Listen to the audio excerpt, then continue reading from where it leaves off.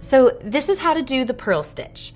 A lot of people are intimidated by the purl stitch, but really it's just the mirror image of a knit stitch. So if you can knit, you can definitely purl.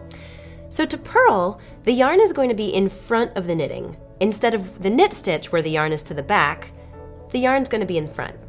And we're going to do the same four steps as we did in the knit stitch, except this time in means come in from the right side of the stitch and you're coming towards you.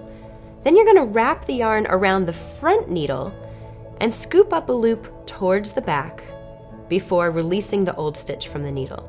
So again, that's in from the right side, wrap around the front, scoop up a new loop, and pop the old stitch off. And when you get a little better at it and you can load your stitches up here close to the tip, you're gonna go in, around, up and off. In, around, up and off. And notice how much I really use my fingertips to help control who is falling off of what needle. So I want this needle to scoop up a stitch, and then I want to release the old stitch. In, around, scoop up and release off. And that is the purl stitch.